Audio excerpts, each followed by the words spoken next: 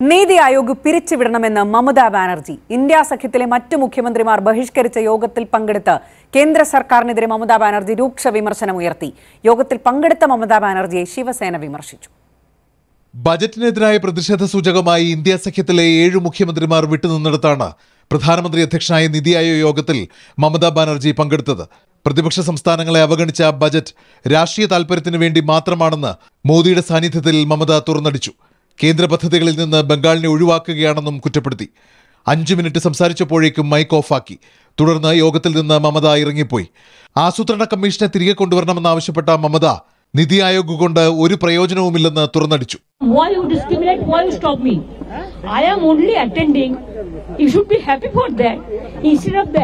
You are giving more uh, scope to your party, your government, and you only me on behalf of opposition. Only I am there. പ്രയോജനമില്ലെങ്കിൽ പിന്നെ എന്തുകൊണ്ട് പങ്കെടുത്തുവെന്ന് ശിവസേന ചോദിച്ചു. പങ്കെടുക്കരുതെന്നത് കൂട്ടായ തീരുമാനമായിരുന്നുവെന്ന് സഞ്ജയ് റാവത്ത് പ്രതികരിച്ചു. തന്നോടാരും പറഞ്ഞിട്ടില്ലെന്നായിരുന്നു മമതയുടെ നിലപാട്. മൂന്നാം മോദി സർക്കാർ വന്നതിന് ശേഷമുള്ള നിതി ആയോഗിന്റെ ആദ്യ ഗവേണിംഗ് കൗൺസിൽ യോഗമാണ് ചേർന്നത്.